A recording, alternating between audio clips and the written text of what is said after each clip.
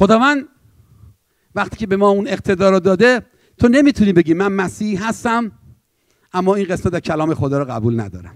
من ایمان دارم به مسیح سالی یه بار میرم کلیسا.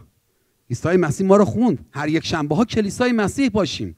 بیایم بشنویم تقویت بشیم. من به مسیح ایمان آوردم اما میترسم بشارت بدم. میترسم بگم من ایماندار هستم. کلام خدا رو نمی‌خونم. دعا نمی‌کنم. به عطایا انقدر ایمان ندارم. عطایا هست یا نه.